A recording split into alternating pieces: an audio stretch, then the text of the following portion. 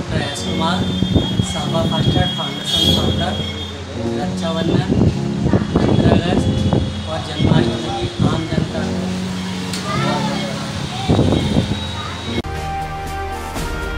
दीपक धामरोडिया टांची की ओर से सभी क्षेत्रवासी एवं जनपदवासियों को रक्षाबंधन और स्वतंत्रता दिवस की हार्दिक बधाई एवं शुभकामनाएँ। दिलीप मंडवाल टांची की ओर से सभी देशवासियों को रक्षाबंधन और स्वतंत्रता दिवस की हार्दिक बधाई एवं शुभकामनाएँ। जिला पिछड़ा वर्ग कल्याण अधिकारी लखीमपुर खीरी बीरपाल की तरफ़ से स्वतंत्रता दिवस एवं रक्षाबंधन की सभी देशवासियों को हार्दिक शुभकामनाएँ। चौकी प्रभारी शारदा नगर साहब लाल की तरफ़ से स्वतंत्रता दिवस की एवं रक्षाबंधन की सभी क्षेत्रवासियों को एवं प्रदेशवासियों को हार्दिक शुभकामनाएँ।